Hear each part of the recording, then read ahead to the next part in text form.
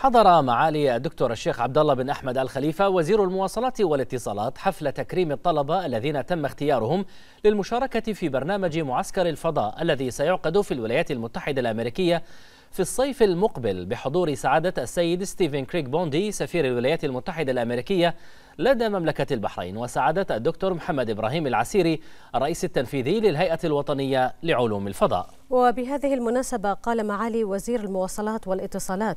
يسعدني أن أشارك هنا اليوم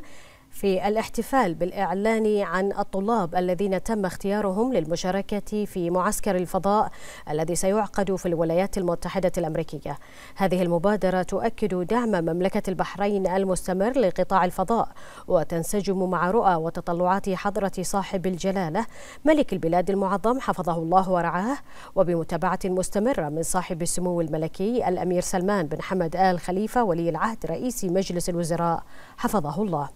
من جانبه قال سعادة السيد ستيفن كريك بوندي سفير الولايات المتحدة الأمريكية إن بلاده ومملكة البحرين توليان أهمية كبرى للعلوم والتكنولوجيا والتي تم إضفاء الطابع الرسمي عليها بموجب اتفاقية التكامل الأمني والازدهار. من جانبه صرح سعادة الدكتور محمد إبراهيم العسيري الرئيس التنفيذي للهيئة الوطنية لعلوم الفضاء.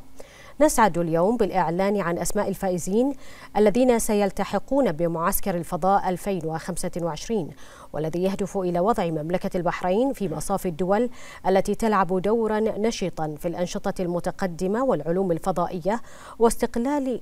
استغلال فرص المبادرات المتاحة من خلال التعاون الدولي.